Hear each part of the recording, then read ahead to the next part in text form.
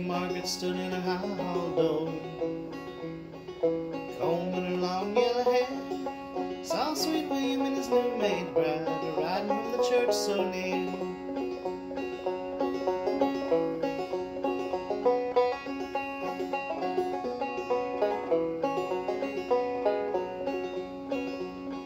She threw back her ivory comb, threw back her long yellow hair, said I'll go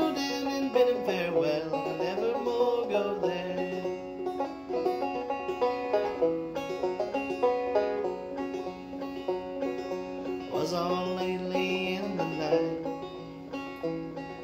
They were fast asleep.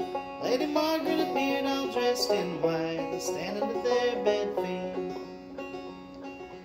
How do you like your pillow? She said. How do you like your sheet?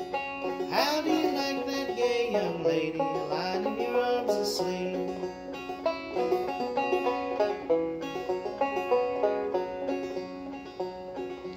Very well do I like my pillow, he said. Very well do I like my sheet. Better do I like that fair young lady standing at my feet.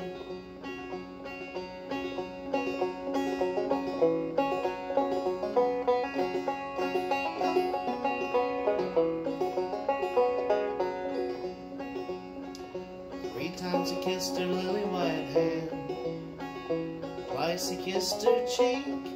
Once he kissed her clay cold lips and fell in her arms asleep.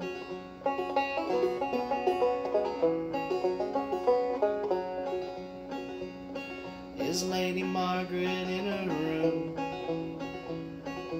Is she in the hall? Lady Margaret's in her clay cold coffin with a pale face to the wall.